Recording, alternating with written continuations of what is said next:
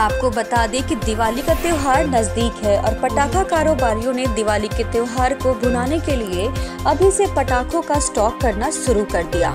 जबकि सरकार के सख्त आदेश हैं कि आबादी क्षेत्र में पटाखों का भंडारण और बिक्री नहीं होने दी जाएगी।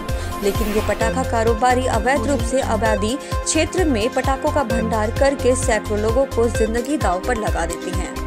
हाथरस की घनी आबादी वाले शहर के बीचों बीच स्थित जलवाला कुआँ के पास पटाखा गोदाम की सूचना पर उप जिलाधिकारी नीतीश कुमार ने सीओ राम शब्द यादव के साथ मिलकर छापा मारा, जहाँ भारी मात्रा में पटाखे का स्टॉक मिला।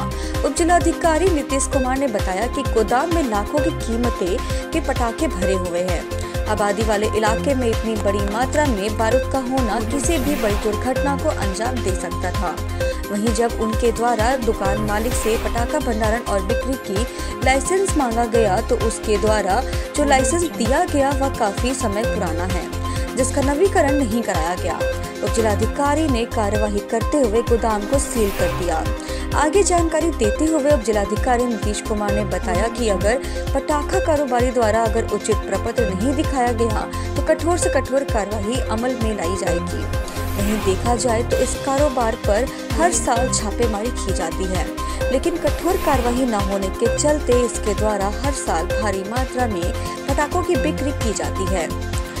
बड़ा सवाल ये है कि छापेमारी के बाद आखिर कैसे इसके वैध प्रपत्र तैयार हो जाते हैं और बिक्री के लिए लाइसेंस मिल जाता है?